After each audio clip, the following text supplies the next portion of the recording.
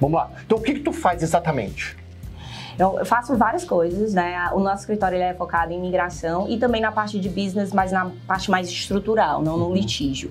Mas na parte migratória, é, o que a gente mais faz é business immigration. E o business immigration, o que é que a gente chama? São vistos no qual ou você está aplicando por causa das suas qualificações profissionais e acadêmicas, ou por causa de investimento ou criação de empresas nos Estados Unidos. É, a gente também faz várias outras coisas, como por exemplo, casamento, é, imigração por meio de família.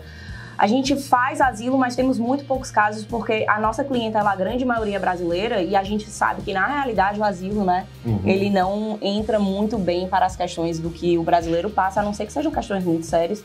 Por exemplo, né, se você era um policial no Brasil, você está sofrendo perseguição, é, entre outros casos. Acho que até alguns casos de perseguição política hoje poderiam ser considerados, mas no todo o brasileiro ele não tem um perfil de, de, de asilo político tão quanto, por exemplo, é, os ucranianos hoje, ou até uhum. mesmo os russos, ou até mesmo é, os venezuelanos, que a gente Sim. sabe que realmente são perseguidos. são perseguidos e que os países estão numa, numa, condição muito caótica e por isso o asilo ele é visto de uma maneira é, mais coerente para esses tipos é, de nacionalidade.